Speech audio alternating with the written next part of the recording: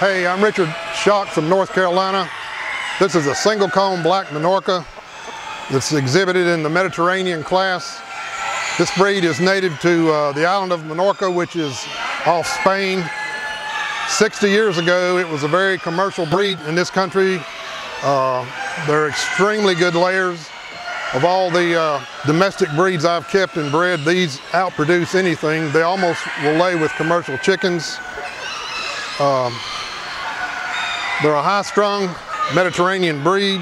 Uh, have a green sheen, not as much as the Sumatra we saw. They lay big white eggs.